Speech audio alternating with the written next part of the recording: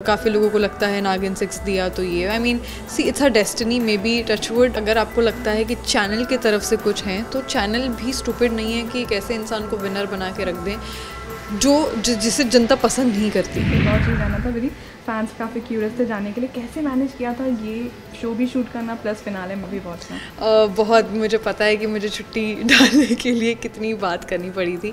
सो so, finale की shoot तो actually दो दिन हुई थी but I only could attend one day because of my tight schedule over year end but nevertheless I had lot of fun in Bigg Boss also but I am more focusing on Mose Chhal Kiye Jaaye right now which is coming up very very soon in just four days and please बहुत ज़्यादा support दीजिए हमारे show को प्यार दीजिए। It's coming on Sony seventh of Feb nine P M Monday to Friday okay last एक और चीज़ जानी थी। तेजस्वी को लेकर काफ़ी क्रिटिसाइज किया जा रहा था।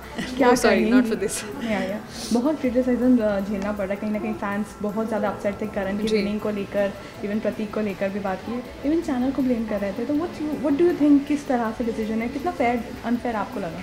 सी ऑब्वियसली फेयर है बिकॉज़ ऐसा तो नहीं है कि अगर अगर आपको लगता है कि चैनल की तरफ़ से कुछ है तो चैनल भी स्टूपिड नहीं है कि एक ऐसे इंसान को विनर बना के रख दें जो, जिसे जनता पसंद नहीं करती।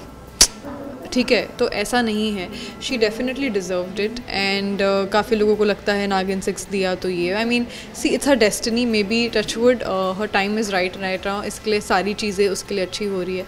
सो यू नो कुछ तो लोग कहेंगे। ओके okay, मिलना कितना हो पा रहा है या फिर अभी अभी जस्ट बात हो रही है।